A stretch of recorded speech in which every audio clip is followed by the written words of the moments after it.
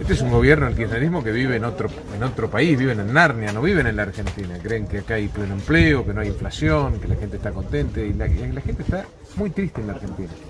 No baja los brazos, pero hay mucha tristeza y angustia. Y, y lo que hace falta es un gobierno que se ocupe de resolver los temas. Como dije recién, los productores acá no te piden que haya una autovía acá en la ruta en la ruta 1. Te piden que puedan entrar y salir de su trabajo.